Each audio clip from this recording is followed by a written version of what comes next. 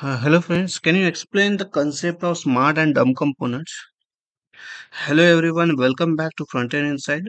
Today we are diving deep into a fundamental concept in Angular and React development, smart and dumb components. Understanding this concept is crucial for building scalable and maintainable uh, application. So let's get started. What are smart and dumb components?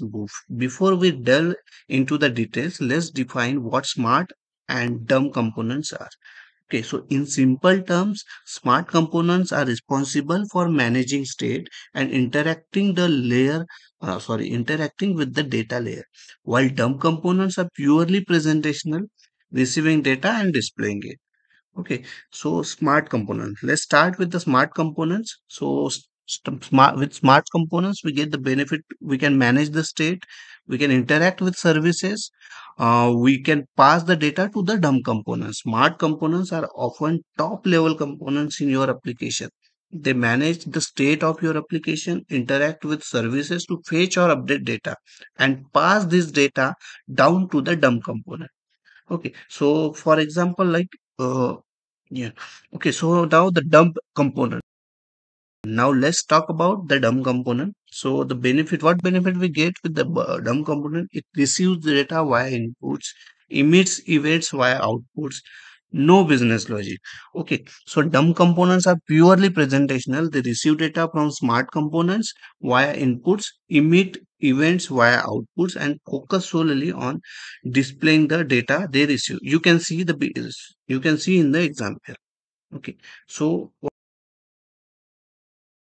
what are the advantages of smart and dumb components?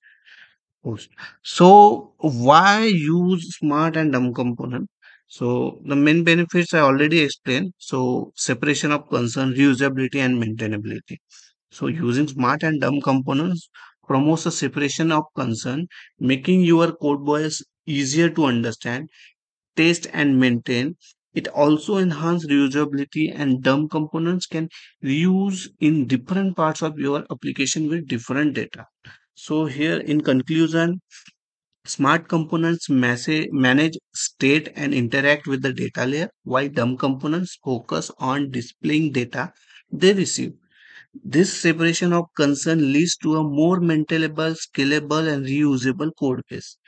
If you found this video helpful, don't forget to like, share, and subscribe for more Angular tutorials, tips, or interview questions. If you have any questions or topics you would like us to cover in our next video, please leave a comment.